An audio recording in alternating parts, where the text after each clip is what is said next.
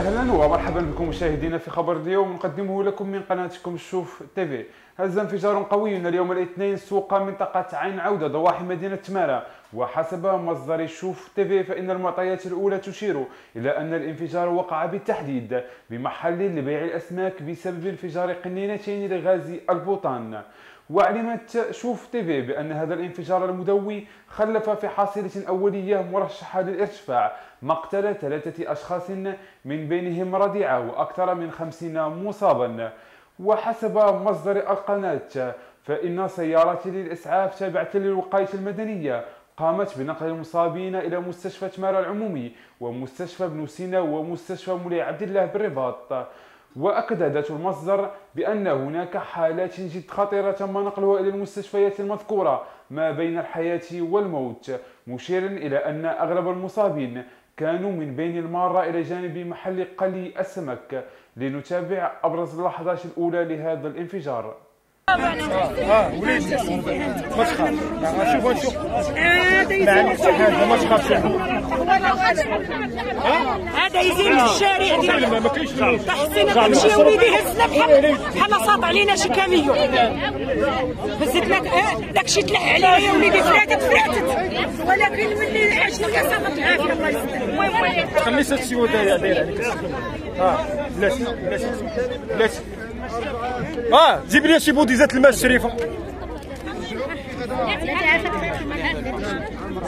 ما ديري شوي ما ديري حتى حاجة. صافي ما ديري حتى حاجة. هذه هذه حروق خاصها غير إما الماء وتتمشي للناس اللي عارفين اش يديروا له صافي غير تشوف. تخليها لاصقة عليها آه تخليها لاصقة عليها. باش ما آه. بلاتي يا بلاتي. حيدي أختي داك الزيتوار قرابي بالدعوه صافي يا شريت ما عندك والو.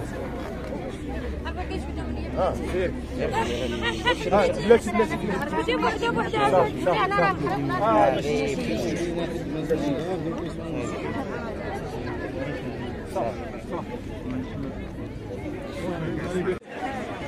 ماشي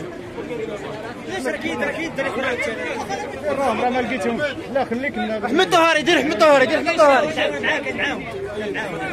احمد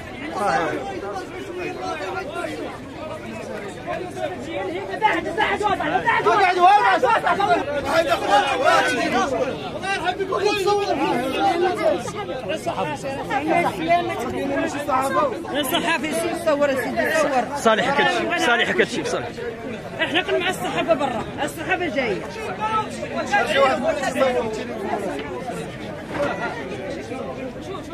العديد من المتواجدين بالسوق كشفوا لشوف تيفي تفاصيل مثيرة وخطيرة بخصوص هذه الواقعة. لنتابع. أمين ديال السوق الاسبوعي عبر سخيرة تمارا نصرحوا بهذا هذا الشيء هذا وبعد بعد تموا شي اجتماعات وقولونا باش تكون آه، واحد اللجنة مشتركة على حساب هذا الشيء هذا باش تكون شنو وقع دابا حاليا؟ ولو وقع دابا جوج انينات الغاز. متفرجين في حالة شي 20 واحد ما عرفناش شنو بعد اللي مشاو للسبيطار ما عرفناش الحصيله عدد الموتى وعدد ولكن في حالة خطيرة. وشكرا. هلع ورعب شديد عاشه زبناء السوق الأسبوعي عين عودة بسبب انفجار قنينتي غاز. خلف مقتل شخصين ورضيعة فإن لله وإنا إليه راجعون. إلى هنا نصل مشاهدينا إلى ختام خبر اليوم. إلى اللقاء ودمتم في رعاية الله.